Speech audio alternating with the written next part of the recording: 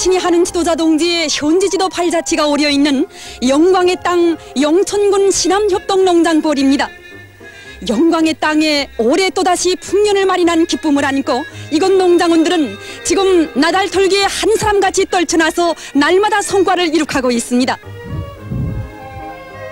지금 제5작업반에서는 운반 수단들의 이용률을 높여서 둯단 실어드리기를 본격적으로 다그치고 있습니다.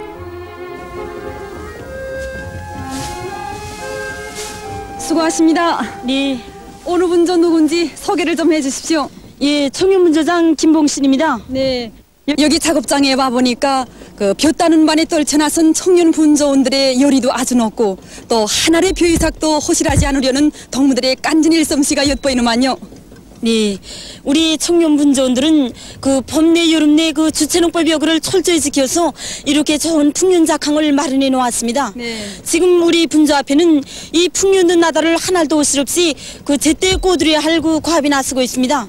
우리 분조원들은 하루 볕단 운반을 150%씩 넘쳐 수행하면서도 그 볕단 운반에서도 그렇고 그 뚜락도로 족자며 옮겨 실을 때도 그렇고 그 하나라도 허실하시라 이렇게 바닥에 가마를 깔고 네. 그 총성고 그 깐지게 일해 나가고 있습니다.